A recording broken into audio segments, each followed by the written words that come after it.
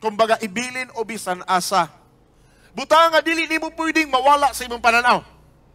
Na ba kay butang ang sama niya na maybe I, I, I know kung ang imong cellphone pinaka-special sa imo ha bisan asa ka bisan to sa CR uban nimo na. Bisan nung tulog ka. Naka-on ang iyahang sounds or maybe imong dulog. Mas madulog pa nimo sa imong bana o sa imong asawa, imong cellphone. Kay nga no, special possession. But ako insulti sa imo. According to the word of God, you are a chosen people, a royal priesthood, a holy nation. God's special possession. Hallelujah. Aha. Special ka before God. Dili ka pwedeng i-give up. Kay ka special possession nga belonging to God that you may declare praises of Him who called you out of darkness into His wonderful light. Imagine ka, unsa ka special ang mo imong tawag. Mubito na mo ingon ko, mahimo ng trending sa ato, ayaw sayangi ang imong tawag. Special ka sa Ginoo. Sa ka oras man he. Nangutan ako, gitreat ba di mo nga special si Lord sa imong life? Ang tawag ba ni Lord special ba para nimo? Ako insulti sa imo. Kung special para nimo ang tawag sa Dios kanimo, ako insulti sa imo. Oh. Tanang butang posible. Ay kalimot ta. Tanang butang posible. Kay kung imong i-treat ang Ginoo nga dili siya special o ang iyang tawag dili special sa imo ha. Lahi na Ba't ang Ginoo naglantaw? One day, mahimo siyang special sa imuha tungod kay ang iyang panglantaw nimo special ka before him you are precious you are valuable before him. Nana ang Dios mo tawag Bawa niya gahapon o katawhan. And of course, nagtuo ko.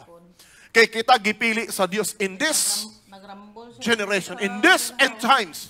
Ano na tayo dako nga rule nga dapat gampanan. Ano na tawag nga dapat natong i-fulfill. O ano na destiny nga dapat natong ma-reach. That I'm standing here today before the history maker and world shaker. Nagtuo ko o nakabalo ko kung unsa ang inyong destiny. Dako pa mong mabuhat. Daghan pa mong matrabaho. And that's why nga akong panahon ko, gi-maximize na ako. Habang may panahon. Double time ang trabaho. Tungod kay nga naman, wala ko nagpasabot ang akong time nini nga planeta short. No. Ay, ako maingon sa inyo ha, ang akong life dili mag-end 80 or 100 years. I'm designed to last forever. Maybe not in the physical, but my spiritual being, ginisinyo sa Ginoo to last forever. I'm a spiritual being living only in this body. Ang akong lawas mo deteriorate, but ang akong espiritu hanon nga bahin, the real man inside of me, ang nakigsulti sa inyo karon, ang tinuod nga tao mo last forever. And dapat masabtan nimo. Kung ikaw spiritual being, sama sa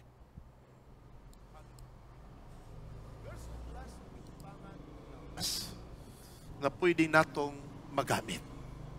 But ako maingon sa imo, adunay building or body that was designed by the hands of God in the kingdom of heaven, the glorified body nga giandam sa Dios kanimo ug kanako. Ug mo nay usa ka butang akong ginatan-aw. Kita nga mga anak sa Ginoo dapat dili mo tan-aw sa mga butang atong makita karon. Kun dili atong tan-awon kung unsa ang spiritual, ang ang fourth dimension, though we are living in the third dimensional world. In other words, nagpuyo ka nga planet Earth, but dapat ang imong thinking according to the scripture. Don't think sumala ni Paul on the things on earth but on the things above. And salamat sa Dios nga ang atong mga mata makakita sa mga butang nga giandam sa Dios.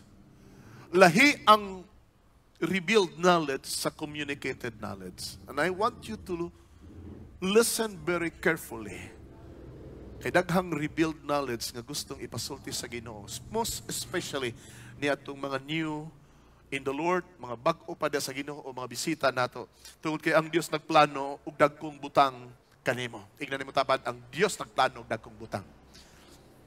kung imong ma-perceive adunay daghang butang nga gianda mo giplano ang Dios kanimo. I will be speaking about your vision and God's vision. The vision of our Lord is about world conquest. Ako ning gibalik sa inyo pagsulti about world conquest tungod kay aduna tay unfinished business nga dapat trabahoon. Ako nagtuo ko nga adunay pag-preserve sa Davao.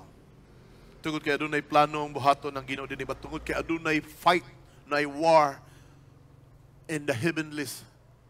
Adunay war even in the underworld. Adunay war within us.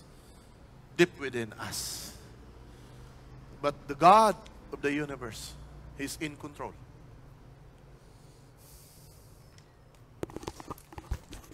Gatanaw sila. Ang mga anghel sa langit gatanaw nato. You are God's special possession. Dili pwedeng mukiling ang pananaw sa Ginoo sa imo. Nakafocus ang mga mata sa Ginoo kanimo. Kaya doon na sa plano para kanimo o para kanako. Ako mingon sa inyo, the vision of world conquest is always living. It's alive. It's transform you and it transforms us. Your potential in God, pwede yung ma-maximize. Amen. Kung mingon ko ni mo, your best in your life is yet to come. Unsa may imong nahimo karon? Unsa may imong accomplishment before God? Unsa may imong nahimo para sa bulaton sa Ginoo? Ako mingon nimo, may igagaling ka pa. Kung last year ang imong cell group duha, ako mingon nimo, dapat may igagaling ka pa. We are in our fulfillment. We are in the promised land claiming our rightful place in the kingdom. We are all chosen and appointed by the God of the universe. But ang Ginoo nag-require og heart nga sold out sa iya heart nga wholehearted ang devotion. We are about to fulfill our God-given destiny. Dili gusto ang Ginoo nga naay kabukaton pa nga akong dadon nga diin ni anak ko sa promised land. And salamat sa Ginoo. Ako always kapasalamat sa Ginoo. Kini nga three ministry dili ni ako. Nagpasalamat kong gigamit ko sa Ginoo. Gamiton ta sa Ginoo. Nagkataon nga gitagaan mo og leader. Maybe dili man ingon ana siguro ka enthusiastic, dili man ingon ana ka fiery or dynamic, but kung unsay the best nga akong mai-offer sa Ginoo, akong gina-offer sa Ginoo. And salamat sa Dios nga ikaw ug ako parihatag kasing-kasing karon. Atong dag-on ang tawag nga din ikaw ug ako gipili. And salamat sa Dios nga diin kung ikaw ug ako mamuhat diha sa kabubuton sa Ginoo adunay dagkong butang ang mahitabo. Dos days nga aduna pay negative thinking, small thinking ato na nang gi-break. Maunay naka babag last two- 2016. I'm struggling for 2016 because naana nga spirit nga gapugong. Naana nga spirit nga ga-influence sa uban nga prime leaders. But salamat because of gitawag nato nga revealed knowledge. Nakita kong kinsa kini nga mga tao. Ug ang Ginoo ang mi-intervene. And salamat sa Dios nga every time nga naay ingon anak nga senaryo kay ang yawa maningkamot gyud pag distract sa akong mind maningkamot siya pag distract sa ministry kabalo ko after that nagi pagsurhay unexpected nako nini nga panahon musurhay ang matag network that's why naanay naanay mga network nga nag-arise karon and salamat ko kining tanang butang ang Dios ang angayan pasidunggan ug ang Dios ang angayan pasalamatan ikaw ug ako mahimutang kabahin. God who is inside of you is transforming